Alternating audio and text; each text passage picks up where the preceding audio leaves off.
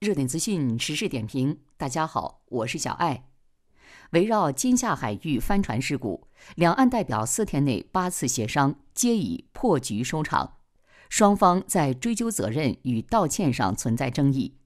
在八轮协商后，却发生了一件意外的事：台海巡副署长许敬之及舰队分署长廖德成等谈判代表，于二月二十七日上午突然退房搭机返台。当时柜台人员问了一句：“结果好吗？”他回道：“解决了。”由此可见，许敬之是为了要保留颜面。他退房后便回了台湾，可他退房这件事，大陆代表、红十字代表却并不知道，让他们非常的错愕。有台媒对此进行报道时，采用“谈不下去”的标题，并声称大陆代表对此毫不知情。难道台方真的打算破罐子破摔，谈不拢就撂挑子不干了？事实上，这是对岸一些媒体虚张声势的言论。台当局没有那么大的胆子掀桌子不谈了，他们恐怕是回去请示谈判底线或商谈后续事宜。果不其然，据岛内联合早报二十七日下午报道，台方代表返台向高层报告谈判过程及结论。原班人马将搭当天下午的班机返回金门，并与大陆代表做最后的协商。谈判原定昨天下午五点举行，后推迟十五分钟，于五点十五分开始。台海巡署副署长许敬之与多名下属官员与大陆代表持续闭门会议长达一小时。第九次谈判达成了一定的共识。双方讨论的焦点还是围绕在纠责、认错与要求海巡人员公开道歉三个问题上。目前，关于这起事故，我方立场鲜明，要求台当局公布真相、公开道歉、赔偿并严惩有关责任人。然而，台海军署提出，在最后的文字报告用词上可以使用“致歉”二字，而大陆代表团坚持必须使用“公开道歉”。而关于赔偿金部分，台海巡署愿意使用抚慰金字样，金额为每位死者人民币一百四十万元。对于遇难者家属要求领回扣押的事故船只与死者遗体，台相关部门也不同意，这背后必然存在极大问题。金门地方检察官调查指出，两船确实不止一次发生碰撞。下午一点多撞的船，海巡署在下午四点才在船舱内找到最后一名被困的渔民，当时已经没有了生命迹象。全案已朝过失致死罪的嫌疑侦办，这意味着涉案人员恐面临五年以下刑事责任。如果根据台方的要求改成致歉，虽然是一字之差，不过却有很大不同。类似的危机事件有代表性的是2001年的中美撞击事件，当时两国对立的情况比较严重，双方民众的情绪也都起来了。我驻美使馆与美方沟通也变得困难起来，甚至被取消面谈，只能发传真沟通，展示我方政策态度和立场。当时国家领导人给外交部的指示是：你道歉，我放人。外交部后来就是根据这六个字找出解决问题的方法，要让美方道歉。从英文上讲，apologize 是正式的说法。然而，美国一开始拒绝道歉，只表示了遗憾 （regret）。围绕这个道歉的措辞，中美双方进行很多次的谈判，最后达成一致。第一是美方向遇难飞行员王伟的家属、战友和中国人民道歉。第二是美方对未经中方机场塔台口头许可就降落海南陵水机场进行道歉。后来美方在给中方的致歉信中就道歉问题用的措辞是 “very sorry”，翻译成中文就是深表歉意。这可能是当时拿到的最好结果，否则中美关系就会僵在那里。金门事件虽没有中美撞击来的严重，但却十分相似。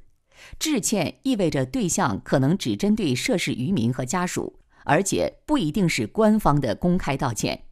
台方如果只是书面致歉，那就意味着还是没有认识到自身错误，之后还有可能事件重演。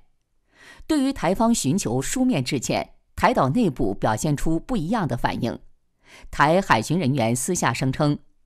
明明是大陆渔船越界捕鱼在先，台方依法行事，结果因为一场意外，还需要追究责任、书面致歉、刑事处罚，对基层执法人员有很大的士气打击。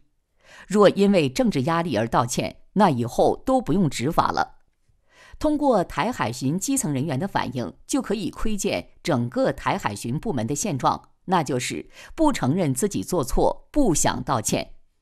对此，前民进党立委郭正亮表示，事件发生后第一时间，台湾方面对人命的态度没有同胞感情，也没有人道主义，这个就很严重。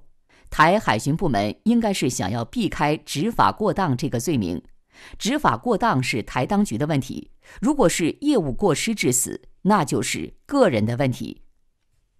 海巡署倾向于先通过相关单位给予大陆渔民遇难家属抚恤金，并且找到让大陆认为已经表达歉意的做法。这样处理之后，后续相关的单位仍然可以进行检查和认定。而且，对于海巡署的正常执法也不会妨碍，并且认为直接先给抚恤金这个做法在之前也有过类似的先例。可以看出，海巡署面对越来越大的压力，想尽快了结这件事，但是在表面上又不想道歉，还在幻想以后继续执法。然而，对于海巡署的做法，大陆渔民家属接受的可能性不大。因为现在已经不仅仅是两名渔民不幸遇难这样的事情了，而是牵扯到了主权。海巡署所声称的所谓的主权海域，在我们看来是完全不存在的，更没有所谓的越界行为。海巡署的认知从根本上就是错误的，这种错误所引发的后果，只是被集中在了二月十四号撞船之后一下子迸发出来，并不是短期之内才存在的。不排除大陆是真正的恶霸，对于手无寸铁的渔民，台当局都穷凶极恶，这与美西方打造的无辜形象不符。一旦台当局道歉，就表示他们在此次事件中是过错方，就会致使自己和背后的美国陷入不利的舆论境地，以后还怎么指责大陆以大欺小？当前，台当局很可能是打算胡搅蛮缠，将时间拖下去，企图蒙混过关。台方一直用证件有效期这种下作手段来试图在谈判中占得先机。台陆委会向遇难者家属和红会人员签发的入台证有效期只有三天，导致部分参与协商人员被迫提前返程。然而，这是不可能的。当前，大陆方面已经用实际行动证明，我们不会有任何的让步，并且耐心有限。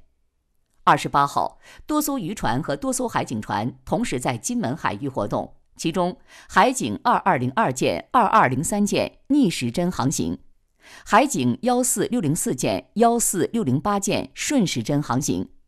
二十七日白天就有七八艘海警船在金门出没。晚上同样有三四艘继续巡查，也就是说，大陆海警是二十四小时不间断执法，而且一天出动的数量在十一艘左右。中国渔民已经重新开始在金门海域进行捕捞作业，海警绝不容台当局再侵犯同胞的合法权益，也绝不允许悲剧事件再度发生。随着大陆方面的执法力量进一步加强，对岸伪部门所谓的生存空间必然会被不断压缩，留给台当局招供的时间不多了。